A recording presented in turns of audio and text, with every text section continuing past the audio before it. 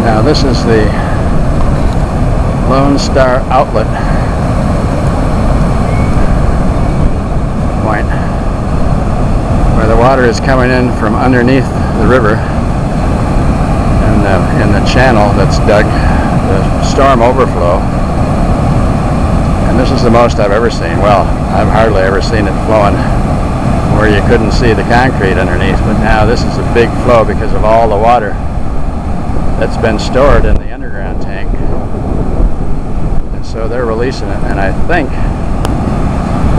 when it's when it's released, then they pump it the other direction, and then it goes back into the river to keep the river flowing.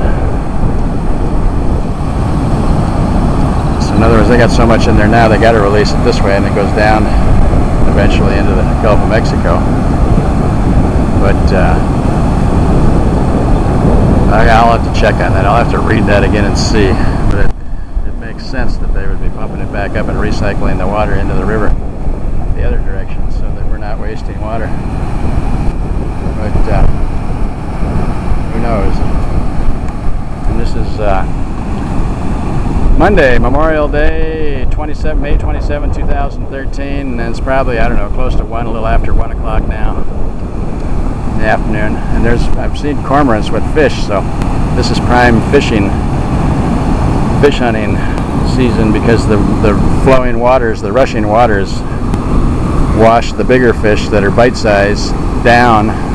They can't stay in their home area or whatever, they get washed down with the flow. So there's a cormorant there just underneath the spillway, small spillway. Just one, one, I don't know if it was that one, another one just had a fish, and then further up towards uh, Cesar Chavez Bridge or underneath there, there was a fish that we watched for a while, or uh, the cormorant, and uh, eventually it swallowed it. Didn't toss it up in the air like the video I got last year showed, but uh, it did play with it for a while, and then eventually just swallowed it, angled it up, angled its neck up, and swallowed it whole. And the other people on the other side were closer and they said it was a small catfish.